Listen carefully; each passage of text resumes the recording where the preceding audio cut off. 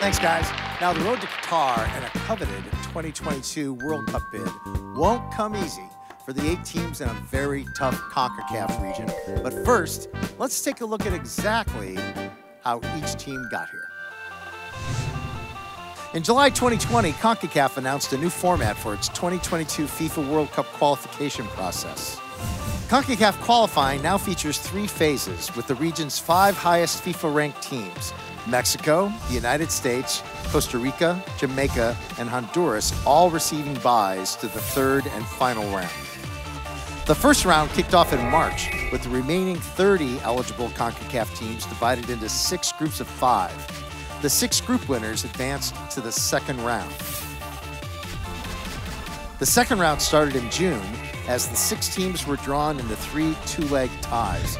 Canada, El Salvador, and Panama all won their matchups and advanced to the final round. What was once the Hex is now the Ocho. All eight teams will play each other in a round robin group format from this September through next March.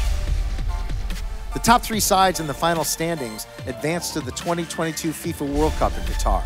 The fourth place team moves on to an interconfederation two leg playoff, with the winner also going to Qatar. This is shaping up to be the strongest CONCACAF World Cup qualifying group ever. And for the winners, a trip to Qatar and a bid in the World Cup is their prize.